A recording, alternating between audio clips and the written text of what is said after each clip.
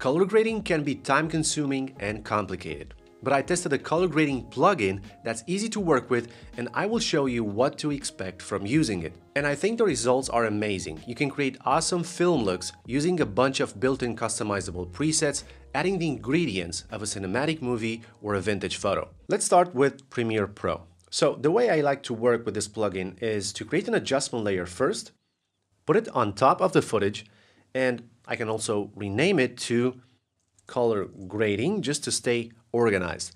The reason I do this is because I have these three clips underneath which are similar and I would like to apply the same color grading to all at once because it's easier. Before opening Premiere Pro, I already installed the Dehancer plugin, so I just need to open the Effects panel, search for the plugin, and then drag it on the adjustment layer that I created earlier. So on the left side, when I open up Dehancer, I can see all these panels that will help me create the final look and they are arranged in a logical way. Now in this video, I do not have the time to show you every single tiny checkbox and slider from this list, but I will show you the most important ones that I actually use. And first I'm going to open up the input. The default here for the source is Rec 709, which is completely fine, but I also have the option to choose the camera that I used. So from this list, I will go and choose Canon R6 because the Canon R6 Mark II is not listed at this point, maybe in the future. And I will pick this one with Log 3 Cinema Gamut. These are the settings that I used when I recorded these clips. And immediately after this, the image will adjust itself and Dehancer applies a base correction LUT. It has some more contrast and saturation. Also, here in the input menu, you can adjust the exposure and the temperature. And I just click on the value, hold down Control, and I can use the up and down arrows to change the values here using tiny steps while also looking at the scopes. Now let's open the film section, which is like the heart and the soul of the Dehancer. This one allows me to experiment with different film profiles by choosing from this huge list here. Most of them are from Fuji and Kodak, but you can also find others like Agfa and Polaroid. Every time you click on one of them, you'll see the result immediately on the preview.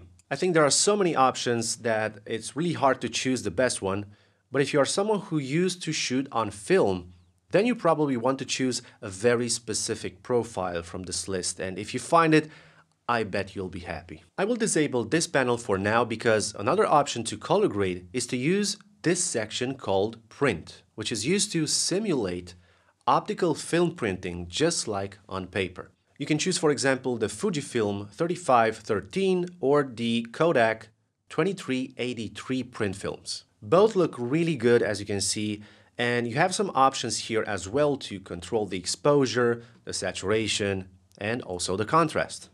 And by the way, if you want to understand every single effect and option from all these panels, you can just enter dehancer.com and you will find all the manuals with very detailed explanations. So about color grading with Dehancer, you can use the film section with all those profiles separately. You can go only with the print film looks, or you can use them both just like a combo and create really unique looks. So for example, I can choose the um, Kodak Aerocolor from here and then combine it with the Kodak 2383.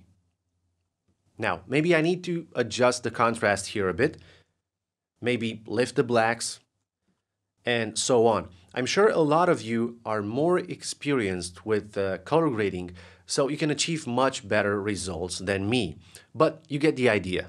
Now, another cool section here that simulates the film look is of course the grain. The grain, the noise, the grain. But before that, I like to show you some other interesting stuff like compression, for example. Uh, it's clear that sometimes you have to deal with blown out highlights, like in this frame, for example. I mean, I used a Canon R6 Mark II, but the dynamic range is still limited when you shoot in shade and you have very bright spots in the background, like here. So you can just enable this section and Dehancer brings down the brightness of the highlights. So if I switch to before and after, this simple effect helps to keep the interest point on the subject and not on some bright parts in the background. So very, very helpful. Halation, it's another section that's well built. So let's take this shot and let's zoom into 200% on this area where I have some really bright parts. When I enable the halation, you can see this orange outline here that simulates real film looks. It appears around very bright spots, and you can control this effect as well to be softer, for example. Or if you think it's too powerful, you can also dial it down a bit. The bloom effect is really nice as well, to be honest. You can use it in shots like this, where you have the light source in the frame and it acts like a glow effect, but it looks very natural and it adapts for every frame. Now, let's open the grain. I know you love this part because it's the most obvious thing to uh, apply on a footage to make it look like, like it was shot on film. The Dehancer lets you control the amount of grain, the size of the grain, and even the opacity of the grain individually in the shadows, in the midtones, and in the highlights. And this is very important. So you can customize it however you want. It's really up to you because in the end, you are the artist behind the final look. And if you like it or your client likes it, that is all that matters.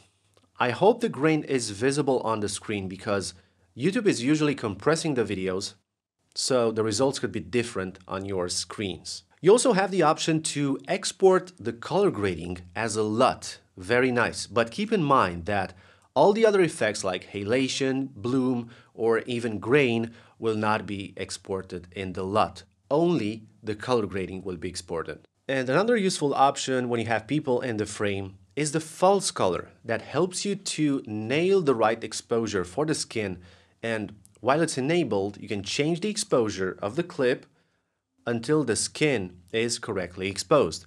I think this is really useful for, uh, for this type of shots. After you made all the adjustments and you finished your color grading, a very nice touch of this plugin is the output section, which basically allows you to change the intensity of the look that you just created because maybe you don't need it at 100%. So you just dial it down a bit if you need to. Now let's see, what are the cons and workarounds of dealing with this plugin in Premiere Pro? I think the first and the most important thing you need to know is that Premiere uses GPU power to render the clips in your timeline while you use Dehancer. The more effects you apply in Dehancer, like grain, halation, or bloom, the harder will be for your computer to render those frames in real time. Actually, when you start to see this red bar here in the timeline, it means that Premiere cannot handle the real-time playback. And in this case, you'll need to create in and out points in the timeline and then go to Sequence and choose Render in and out. After this process is finished, you'll see that the red bar turned into green and from this point you can press play and the video will play smoothly without any problems. So what I recommend if you have a big project is to disable the adjustment layer, trim your footage, make all your edits, and then in the final stage, enable the adjustment layer with the Dehancer and make your final adjustments and then render out this video as a file. And also if you shoot 4K or above, I strongly recommend to create proxies, which are lower resolution playback files used in editing in Premiere Pro. And then when you render the project out as a final file, Premiere will export at the highest resolution. So before showing you how this plugin works in Photoshop, I just want you to know that I teamed up with Dehancer and I'm offering you a 10% coupon code if you decide to buy this plugin. You just have to use the code CRISTI at checkout exactly as it appears on the screen. So thank you so much in advance for using my coupon code. It really means a lot to me. Now in Photoshop, the way I recommend using this plugin is the following. If your image is not a smart object, then convert it to a smart object first. If you're not converting it into a smart object, you can add the same effect using the Dehancer, so it works fine. But if you want to go back and modify something, a value, or disable an effect or a section, something like that, because it's too intense, it's not possible. You need to restart the plugin and redo all the effects and all the adjustments. So in this case, I will right click and convert this image to a smart object. Then I go to Filter, Dehancer, Dehancer Film. Right off the bat, you can already see that Dehancer has two sections here, Profiles and Presets. In the profiles, you'll find a lot of film emulations just like in Premiere Pro. And you can also filter them using these categories here. What I like in the Photoshop version of this plugin is that I can see all these small previews here. And when I click on one of them, the Dehancer applies it to my photo. So I can see a preview in real time, which is awesome. And on the right side of the screen, just like you saw in Premiere Pro, you have the same panels to tweak this film profile exactly the way you want. So maybe you don't want grain on this photo. You can just deactivate it from here and there you go. Now, when it comes to presets, this is a combination of film profiles and print film looks. So for example, you can choose the Cinestill 800T combined with the Kodak 2383 print film, which you can of course tweak however you want, like I showed you. Down in this area, you can see the histogram of your image. So everything you do, just make sure you throw an eye here as well in case the blacks or highlights are crushed without intention. You also have this preview checkbox that allows for before and after. And if you're satisfied with this image, like I am now, you can press OK. And that's it. Now the Dehancer was applied as a smart filter, and you can see it here. So if, for example, I make up my mind and I want to modify something, I want to, I want to go back and change some settings, I can simply double click the effect and we are back in Dehancer, exactly where we left off. Another great feature of the Dehancer plugin is that it also has an iOS app. So after you choose your photo to edit, the screen will be split in two sections. The top section becomes your image preview, which can be adjusted to be smaller or bigger, and the bottom section lets you choose presets, just like in Premiere Pro and Photoshop. The preset customization is really simple. You just have to press edit and from there you can customize anything you want, including exposure, color grading, print film emulation, grain, halation, bloom, and the list goes on. Then you export your image and you can share it with friends or on your social media accounts. I personally use this plugin every single day now for the last two or three weeks. I like the profiles, I like the presets, I like the way how I can customize everything I apply there. I also like the grain, to be honest. And if you want to check the prices for it, you can enter the Dehancer website. Depending on your budget, you can choose to get a license for three or six months, one year, or even a lifetime license for both video and photo versions. And, and the good thing is that you can receive two activation keys. Now, in my opinion, if you have the budget, the lifetime license is a good choice because you pay once and you get all the future updates.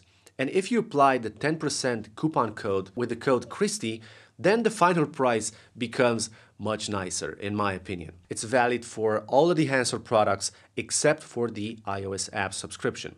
If you like this video, I'm sure you will enjoy this one on the screen. Until next time, I'm Cristi, and thanks for watching.